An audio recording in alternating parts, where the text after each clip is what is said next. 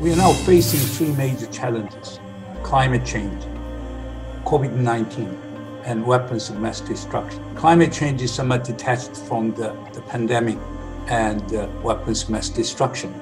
But it's a really fascinating idea uh, to conjugate the spread of pandemic with nuclear weapons issues.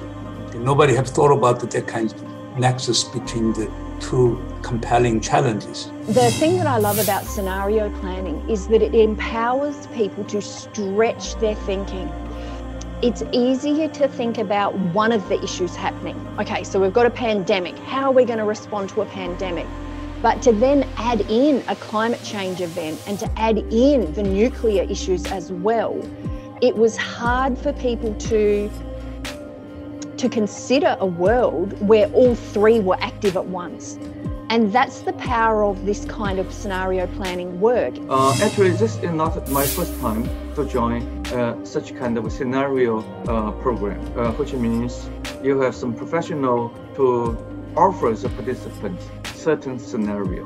Scenario means they are not real, but they could be real at any future time and let, let's pay attention to them. But this time scenario is totally different. It's so timely, it's so crucial that everyone need to be, pay great attention to it. Scenarios planning is a process whereby one tries to imagine the future, knowing that the future is highly uncertain as it is at the moment. And by exploring these imagined futures, one and tries to generate robust strategies for shaping the future rather than just allowing it to happen by default. So we set out in the Pandemic Nuclear Nexus project to try to answer a key question.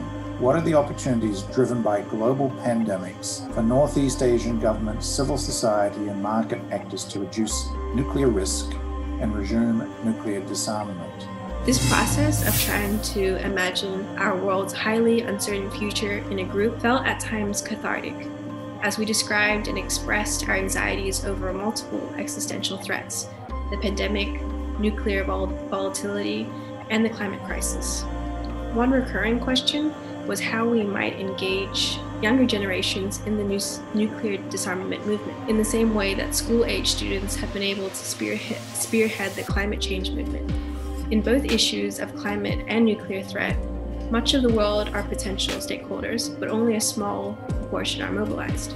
Greater collaboration is needed to overcome existential risks such as nuclear weapons, COVID 19, and future pandemics, and climate change the 75th anniversary Nagasaki Pandemic Nuclear Nexus Scenarios project and report has identified steps to realize a nuclear-free world before 100th uh, anniversary of the atomic bombing, when Hibakusha voices will finally fade away.